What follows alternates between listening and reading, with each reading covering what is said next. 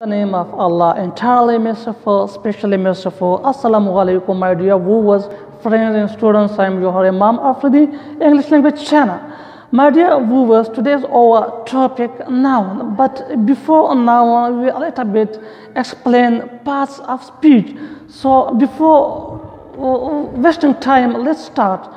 What's parts of speech?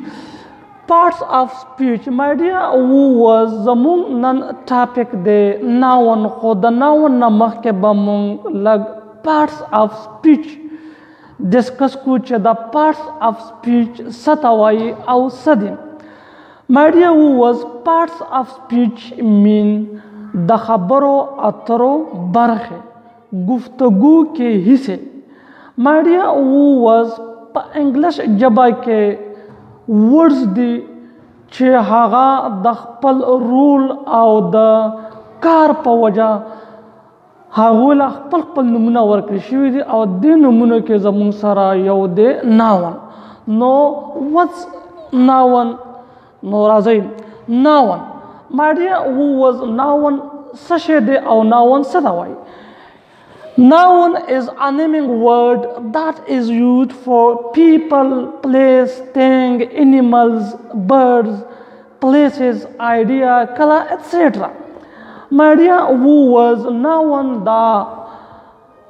یو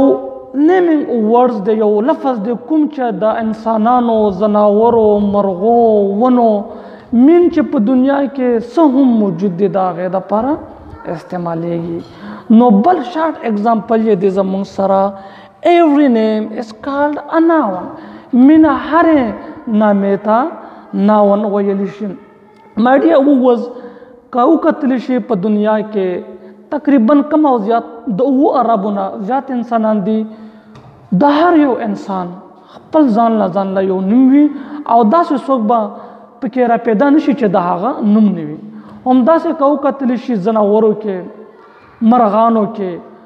په نورو سیزونو کې نو ناون میډیا او وز دا یو داسې لفظ دی داسې یو ورز دی چې د دینه د یو چا پیژندګلوي کوي فو اگزامپل دلته اوس زموږ سره سټوډنټان دي او دا هر سټوډنټ ځان لا ځان لا نوم دی اوس ځکه ووایم چې ساجد نو ساجد به خپل او به پیژنې خپل ځان به پیژنې چې یاره دا خو ماته وایي ځکه چې ما د هغه نوم واخیستو نو هغه به ودرېږي یا فار اگزامپل که مونږه د کلر خبره وکړو که مونږ سور کلر ویل که وایډ کلر مو ویل نو هغه به مونږ پیژنو یا هم داسې ځناور وغیره نو مای ډیر وو واز ناون دا هغه لفظ دی د کوم نه چې د شناخت کېږي پیژندګلو کېږي نو مای ډیر وو واز د ناون زموږ سره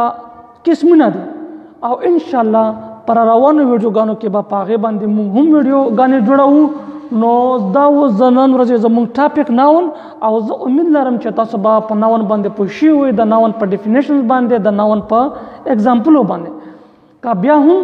سا کوشچن وینو په کمنټ باکس کې ولیکئ زه به جواب درکم او زما چینل در سره سبسکرایب کړئ